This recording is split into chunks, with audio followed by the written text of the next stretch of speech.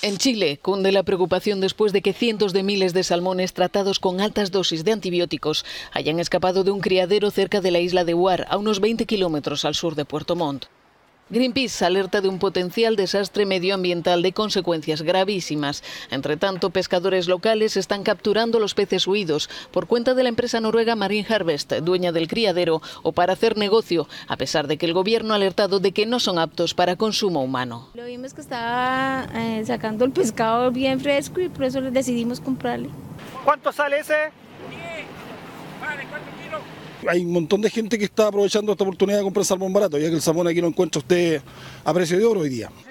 El gobierno chileno ha dado a la compañía noruega, que podría perder la concesión para operar, 10 días para dar explicaciones sobre la huida masiva de salmones y para elaborar un plan de contingencia. Por el momento se han recuperado unos 200.000 de los alrededor de 800.000 escapados del criadero.